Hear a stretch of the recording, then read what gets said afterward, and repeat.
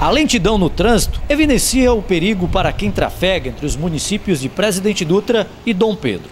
O local já é bastante conhecido pelos motoristas que trafegam aqui pela BR-135. Quem passava aqui pelo local antes já via as ondulações que já vinha causando preocupações. Agora que você vê, é uma cratera com cerca de 15 metros de extensão e um metro e meio de profundidade.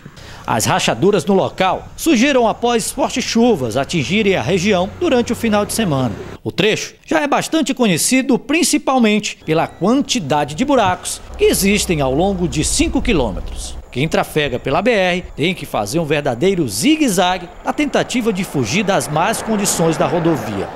Vai estar tá um horror, na verdade. Tá ruim, viu? Ruim demais, viu? As BR.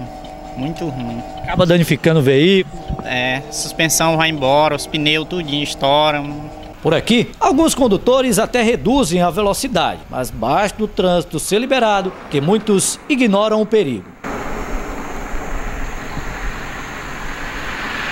Equipes do DENIT sinalizaram o local e, segundo informações, eles aguardam apenas a melhora do tempo para dar início à recuperação do trecho.